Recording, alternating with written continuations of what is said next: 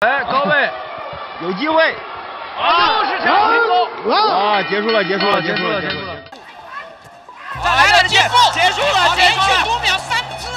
为你说这个在膝关节那地方很难受。对，刚才因为我以前也受到过这种，就以某一个点呢被击打以后，这种肌肉的瞬间的这种收缩是非常疼痛啊。再来，啊，有明显了，啊，开始单腿了，开始单腿站立了，有效果了。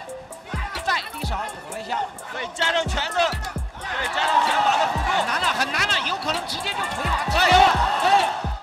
巅峰时期的魏宁辉究竟有多强？四场比赛问鼎昆仑决六十五公斤级世界冠军，而且每一场比赛都是 KO 对手获胜。来自河南周口的魏宁辉是中国搏击羽量级名将。魏宁辉泰拳出身，曾入选国家泰拳队，获得过2012年国王杯63公斤冠军。从昆仑决创立之初，魏宁辉就开始征战昆仑决赛场，向自由搏击转型。在羽量级这个级别，一百六十八厘米身高的魏宁辉在身高方面常常处于劣势，但是魏宁辉却有着惊人的爆发力，其低扫腿和催泪拳杀伤力极强，是魏宁辉的两大杀手锏。魏宁辉曾用催泪绝技，用时三十秒 KO 了巴西悍将奥利维拉。当时台下的波球和亚桑克莱都震惊了，认为魏宁辉的拳头很重，极具杀伤力，一般人根本顶不住，就算是自己上去，估计也会被打趴。由此可见，魏宁辉的拳头有多可怕了。二零一六年八月七日，魏宁辉出战昆仑决首届六十五公斤世界冠军十六人赛，在十六人赛第一轮淘汰赛中，魏宁辉对阵水落杨佑。一起来看看这场比赛吧。我们的裁判组给到我的信息，他一定要体现这个真正的体育精神，还是要还是要打这场比赛，还是要实打实的来参加这个比赛。所以我们也征求了，呃，我们的选手魏宁辉的意见。魏宁辉也非常想打这场比赛，所以我们就还是促成了这场比赛。对，这个水洛阳有年龄三十二岁，呃，从呃比赛铃声敲响，两人都是小心翼翼地试探对方，并没有太大的进攻动作。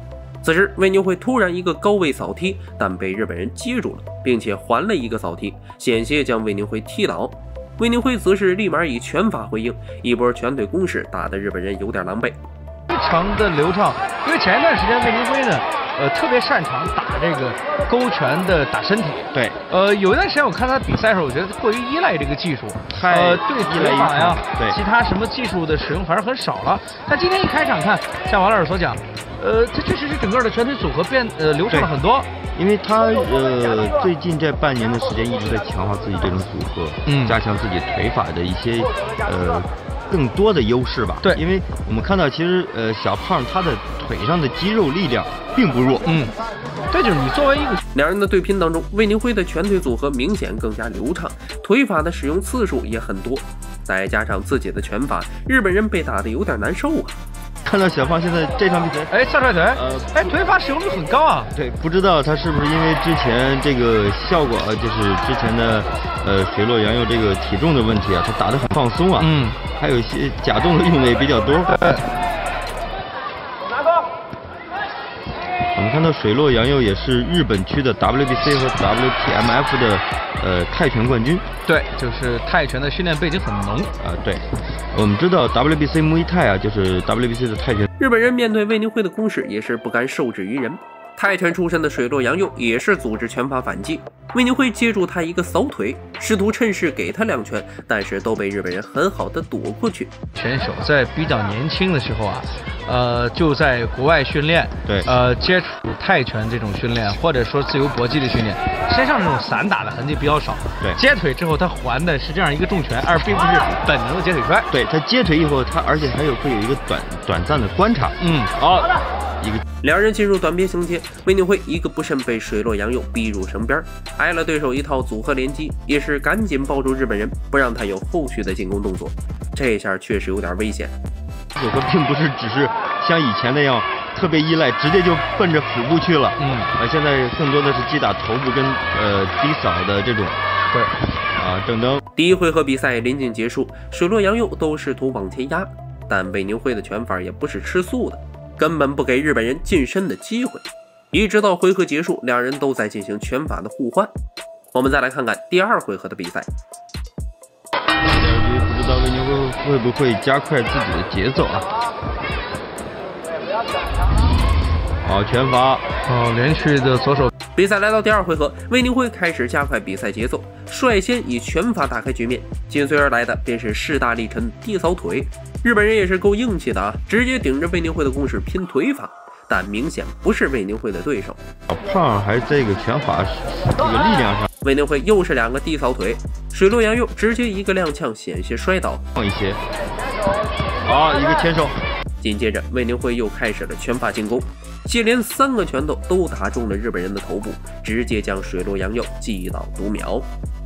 比赛重启之后，魏宁辉上来就是一个正蹬，将日本人直接踹到了围绳边紧接着就是连续的组合拳法，将水落洋佑打得只能抱头防守。日本人在乱拳中失去防守，再次被魏宁辉重拳砸脸，一屁股坐地上。裁判见状，赶忙终止了这场屠杀。站起身来的日本人还不服气，朝着裁判大喊大叫，觉得自己并没有输掉比赛。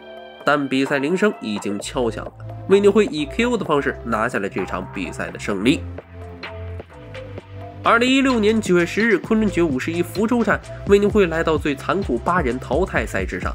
如果想要获得冠军，就意味着魏宁会需要一晚上连战三场。首场比赛，魏宁会对阵英国名将克雷格·迪克森，一起来看看这场精彩的对决吧。这是二零一六年昆仑决六十五公斤级世界冠军赛四分之一决赛的第一组。呃，蓝方是来自英国的克雷格，红呃红方是来自中国的红裤小胖魏宁辉。今天这场比赛将决出四强。啊，对，今天他们将呃持续晋级，直到获得六十五公斤世界冠军赛的金腰带。也就是说，今晚的胜者要连打三场。啊，对，这个对一个职业选手的这种体能啊，跟这种意志力是非常的要求之高啊。对，呃，克雷格是在昆仑决四十九日本东京站的时候，点胜战术，呃，战胜了中国的选手白利帅。而魏宁辉是在昆仑决四十九东京站的时候，第二回合 KO 了日本选手水落洋佑，获得了出线。比赛铃声敲响，由于不是很了解对手，双方都是用腿法试探性的进攻，并没有太大动作。面对克雷格的进攻，魏宁辉则是以摆拳克制对方。虽然克雷格屡次试图向魏宁辉压境，但都被魏宁辉轻松化解了。但是魏宁辉的那个昆仑决战绩比他多一点啊，对，啊，魏宁辉这两啊，还有。标志性的前手这种勾拳呐，我们看到克雷格这个扫腿啊，还是比较有浓重的泰国风味啊。是的。哦，一出腿低扫。呃，不知道今天魏宁辉能再次施展自己的这种拳法上的优势啊，这种杀招啊。他杀招就是击腹。对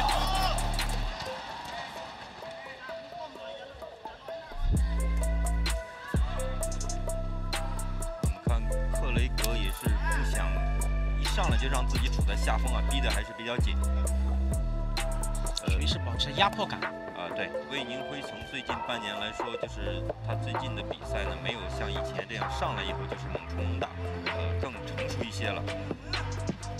求稳。对。哎，这个后手，刚刚扫过脑门啊。两人都在慢慢熟悉对方的打法。魏宁辉第一回合没有特别的发力，两人打的有来有回。咱们再来看看第二回合的比赛吧。啊，连续的击服，我们听到这砰砰的这个响，这个声音啊。这两下克雷格的抗击打也是表现出来，真的是不弱。而且刚才那两下位置稍微靠上了一点。如果是靠下一点，可能会效果好一点。靠近脾脏的位置。对。啊，我们看克雷格这个反击还是不错。魏宁辉还是要在进攻的时候，头部的空当还是要尽量缩小。而且刚才克雷格还是打打法有点立体进攻啊。对。打一下前手，然后后腿再低扫一下。在之前他战胜白利帅的时候，其实就是泰式的风味特别的浓，只是用获胜谁直接将会晋级六十五公斤世界冠军赛的四强。啊，很正宗的泰式扫腿啊！而且我们看克雷克雷格的这个腿的肌肉线条也是，呃，很粗壮啊。对，维度非常大。对。其实那个小胖的肌肉维度，在他那个级别的那个国人里面也算是非常出众的。对，呃，因为熟悉小胖的也知道，在之前啊，小胖是主打六十一到六十三这个公斤，第二回合，魏宁会突然加快节奏，利用漂亮的迎击击倒对手。啊，一个击倒，绝对是杜苗，漂亮，一个明显的漂亮的前手。小胖赖以成名的前手拳呐，果然是发挥了赵当，要一口气吃下对手组合，找好找好点。啊，不要不要太着急，体能的分配。对，哎，被我神前挡一下，可惜。其后，魏宁辉通过正蹬发起新一轮攻势，狂风暴雨般的拳法进攻，克雷格被打得毫无还手之力。啊，后手钻进去，有了，平攻，有了，逼到身边，组合，要把他防守打散，对，要把他报价给砸开。哎，对，要找好机会。打迎击，对对，可以打辅了。对，中途他试图通过反击来打乱魏宁辉的进攻节奏，反被魏宁辉右手摆拳命中头部，再次导致被读秒。啊，魏宁辉现在很稳健呢，在没有更多的机会之前，也是一直在寻找这个空档啊。如果这局再出现一次的话，比赛就将结束。对，连第一个回合里面读读秒三次，就直接判负了呗。对，魏宁辉能有机会。有机会，有机会！强，对，打散，打散，打散，对，把报价打开。能不能为后面的比赛为？魏宁辉没有给对手任何喘息机会，酣畅淋漓的组合拳不断的命中克雷格的腹部，克雷格终于扛不住，再次倒下。蹲在地上的克雷格疼得龇牙咧嘴，由此也是能够知道魏宁辉催泪拳的杀伤力了。最终，魏宁辉以三次击倒 KO 的方式拿到了进入半决赛的入场券。二零一六年九月十日，昆仑决五十一福州站，昆仑决六十五公斤世界冠军赛半决赛，魏宁辉对阵蒙国东，这也是一场中国的比赛。魏宁辉和蒙国东想要争夺六十五公斤级世界冠军赛决赛资格，他们两个人究竟谁能够获胜呢？我们一起来看看这场比赛吧。赛是昆仑决二零一六年六十五公斤级世界冠军赛的半决赛，呃，来自我们的内战啊，呃，红方是蒙国东，蓝方魏宁辉。其实何老师，我觉得有的时候我们在这种呃大的比赛现场，让中国选手对中国选手打，其实也是算是一个很大的提升啊，对中国选手来说。没错没错，因为无论是谁获胜，都代表中国选手技术和各方面胆识经验的提升。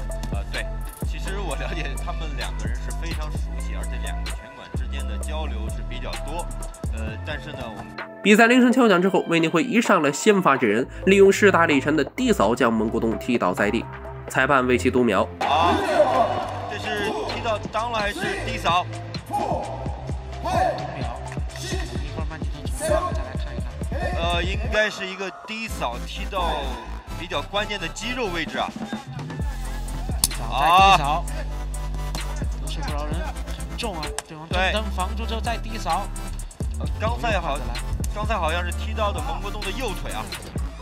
打起来，打起来，不要等，魏宁辉体现出高超的搏击智商，他有针对性的攻击对手的伤腿，他的重腿就像死神的镰刀一般，不断的切割到蒙国东的腿上。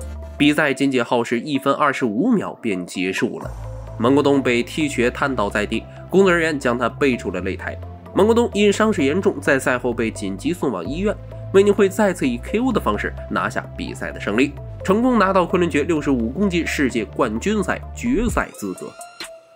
二零一六年九月十日，昆仑决六十五公斤世界冠军赛决赛上，魏宁辉对阵法国的阿布杜拉赫。此时，魏宁辉已经打过两场比赛了，但让人欣慰的是，两场比赛魏宁辉都是以 KO 提前结束，所以体力这一块并没有太大消耗。这位法国拳王也绝非是泛泛之辈，是世界著名踢拳组织的世界冠军，其实力不容小觑。韦宁辉又该如何应对呢？一起来看看这场精彩的对决吧。没错，一晚三战，拿的冠军。好，比赛开始。看两个人。比赛铃声敲响，面对著名的基辅专家阿布多拉赫，显得十分的忌惮，严加防守自己的双肋，拳架得很低。但没想到威尼会反其道而行之，表现出超高的比赛理解能力，出其不意的低扫险些将对手放倒。而且你看阿布多拉赫，从他没有打肿那张脸看，很像当年的顶级王者——恶童兼金金童的巴德哈里。对，啊，有明显了，开始单腿了，开始单腿站立了，有效果了。再低扫了一下。其后，魏宁辉如法炮制，使用大斧般的扫腿，在连续的地扫进攻下，阿波多拉赫腿部受到严重的创伤，无法继续进行比赛。仅仅用了四十七秒，魏宁辉就取得了比赛的胜利。他创造了一个奇迹，不仅赢得了昆仑决六十五公斤的世界冠军，而且是一天晚上连打三场比赛，全部都以 KO 终结的方式，能够在八人赛里夺冠，而且是三场 KO 获胜。魏宁辉这样的表现，在中国选手里是绝无仅有的。最终，魏宁辉以四战全胜、全部 KO 对手的方式，加冕昆仑决六十五公斤世界冠军头衔。这也是魏宁辉职业生涯最高光的时刻。那么大家喜不喜欢魏宁辉这位选手呢？欢迎在评论区留言。喜欢格斗的朋友给个三连再走呗。